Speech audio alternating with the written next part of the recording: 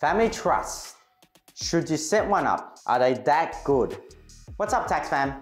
Today's video is all about trusts and more specifically, family trusts. They're all the craze at the moment amongst investors because they offer great asset protection and a few tax minimization benefits. But today, I've got a newer and better face to help explain this video. Molly. She's our supervisor accountant here at Box Advisory. Don't worry, I'll still be around because I know you'll miss me, but otherwise, take it away, Molly. Thanks, Davie. Hey everyone, I'm Molly, and I'll be helping you today with understanding family trust a little better. But before you feed into the craze, you need to know how trusts work, what your options are, and what potential drawbacks come with investing this way. So let's start with the basics. What's a trust? A trust is legally recognized relationship that exists between party A and party B. Party A holds property for the benefits of party B.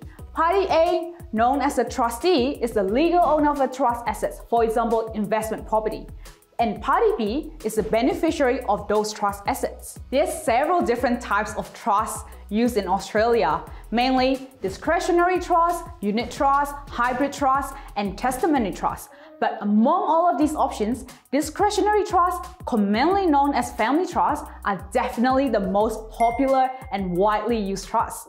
What makes them so appealing is that the trustee is given complete discretion as to how the trust income is distributed to the beneficiaries. So, a family trust can operate a business, make investments, and receive distributions and dividends.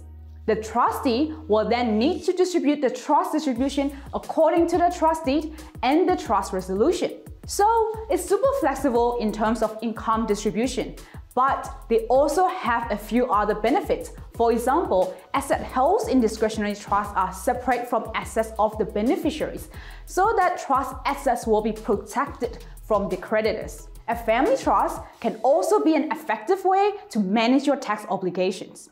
So, because the trustee has the freedom to distribute income, if one beneficiary is paying more income tax than the other, the income can be distributed in a manner that equals out the amount of tax each beneficiary is liable to pay.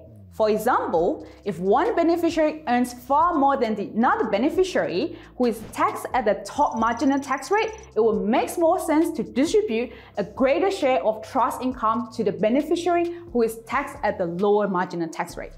This is especially beneficial in discretionary trusts when there is more than one beneficiary. And if you hold any investments in the trust for more than 12 months, you'll be able to claim a 50% discount on capital gain tax should you decide to sell the asset. Another benefit is that it's a great estate planning tool.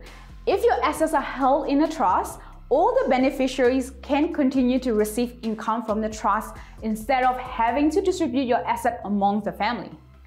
This is one sure way to minimize your family disputes. But as with anything, there are a few drawbacks with using a family trust. For example, if any of the trust assets end up running a loss, the loss will remain trapped inside the trust and gets carried forward to later years. The losses are then offset against future profits. And while a family trust can be used as an asset protection strategy against your personal creditors, a discretionary trust can have its own creditors, and those creditors have a right to the property or business interests held in the trust. You also have to consider the cost of setting up and maintaining a trust. It can cost around $2,000 to set it up and then around $3,000 each year in accounting fees. So that's family trust in a nutshell. Now, there are certain situations where I would definitely advise going the family trust route. The first one is, let's say you own your business in your personal name and your retained earnings are more than $500,000.